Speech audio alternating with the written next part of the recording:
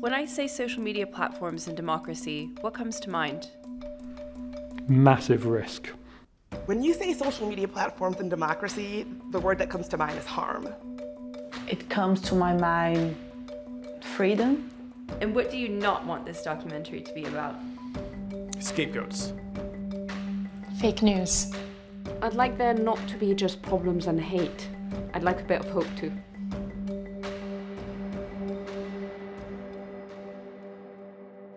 Promise of social media when I was growing up was everything. It was the world, it was exploration, it was discovery, it was creativity, it was feeling like I had finally found my people.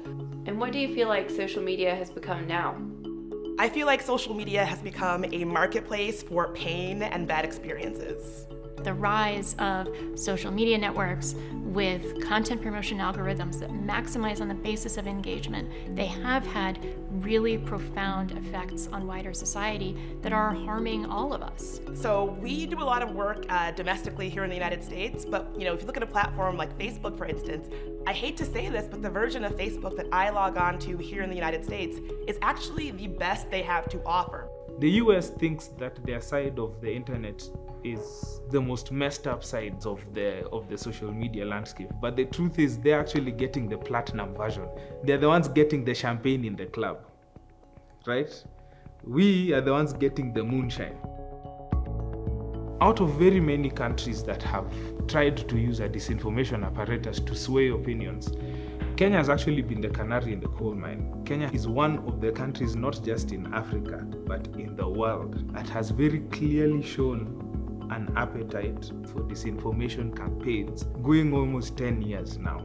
And this happened in 2013, this happened in 2017, and it is likely that it's going to happen again today. So, if you wanted to tell someone how to manipulate an election, what would you tell them to do? Uh, we've seen it in history. You find your target groups and then you explain why they're the reason you don't have enough and why it's not uh, the government not working well or the elite, it's that target community. And right now, immigrants are that target community. And in France, I'd say the Muslim community is that one. Ils sont, ils sont voleurs, ils sont assassins, ils sont violeurs, c'est tout ce qu'ils sont. Il faut les renvoyer. Attendez. Okay, so why do we care about Eric Zemmour? He was really the person that had the digital strategy that worked. There's several techniques he's used. There's the astroturfing. Le Monde, the French newspaper, published an investigation about how a small but very uh, dedicated team managed to coordinate uh, massive retweets which meant that he was trending on Twitter more than other candidates, saying controversial, outrageous things like, uh, for example, we're going to get all the immigrants out of France and we're going to ban um, essentially Muslim sounding names. Suddenly, these were the topics that were being discussed, and it seemed like he was the person everyone wanted to talk about when actually it was very coordinated. Various platforms have different versions of these algorithms to be able to amplify content. TikTok has its For You page, Facebook has its news feed, but in particular, one of the things that we have seen disinformation um, operators have very much been able to figure out is how to manipulate Twitter's trending algorithm. And this is because it's actually quite easy for them to do it. Trending on Twitter by itself is not going to win an election, but being in the conversation is why he was so dangerous. Yeah, so a lot of people ask, you know, why are people susceptible to misinformation or disinformation? Um, there's various theories about that. Uh, one example is what we call illusory truth. So the idea of illusory truth is that the more often a statement is repeated, the more likely people are to think that that's true. Your brain mistakes what we call fluency uh, for truth. This algorithm has the potential to be able to amplify pieces of content that perhaps would not have gotten uh, as much attention as they would if it did not exist. Uh, is it human nature to be drawn to divisive content, or is that something social networks have created? Okay, let me, let me think of it. That's a, that's a deep question. Let me let me think about that for a second. Um, in one, rather unethical experiment, Facebook actually showed that they can manipulate the emotional sentiment in people's feed by filtering the amount of positive or negative news that people are exposed to. And so they actually have the power to shift people's emotions and, and how they feel about content on the platform. And so I think that should get us thinking about um, how online engagement uh, makes us feel and how that then directs our behavior, both online and, and offline. We are living through a new form of censorship and harassment in Brazil, outsourced to armies of patriotic trolls and amplified by bots on Twitter, Facebook, Instagram, and WhatsApp.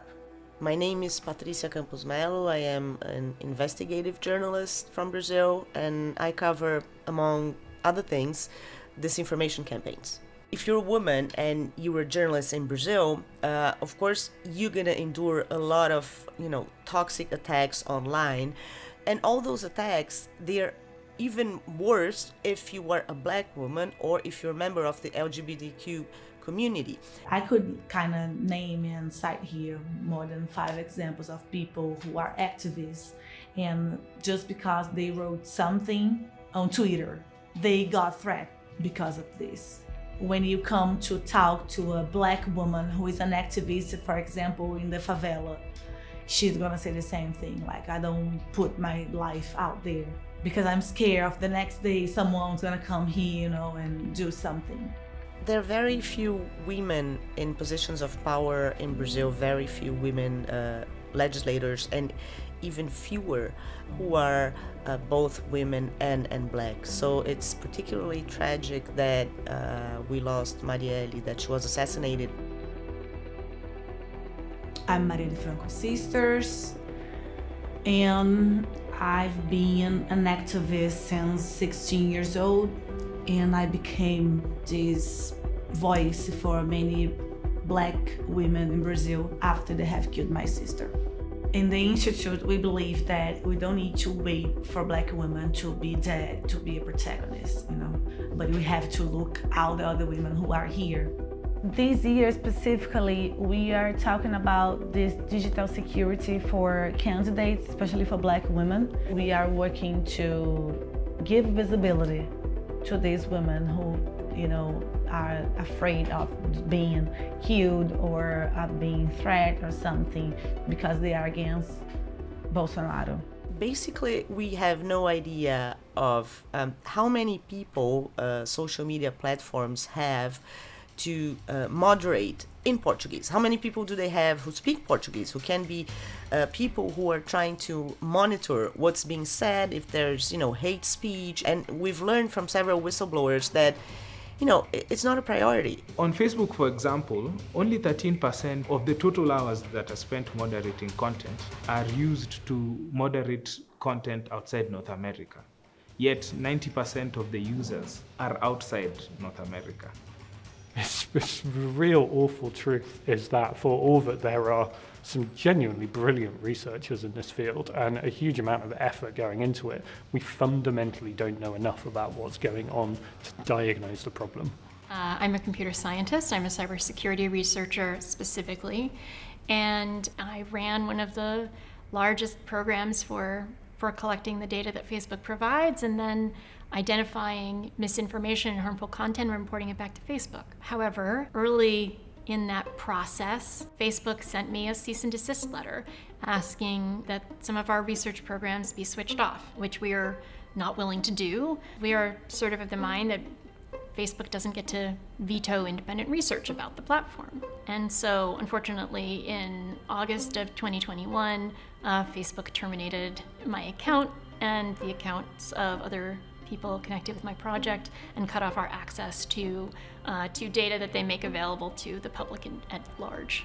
You can't build a car without crashing against a wall. You can't pump water around without having it tested for pollutants. But you can build algorithms that shape what billions of people can see and share without ever showing anybody what the consequences of your decisions are.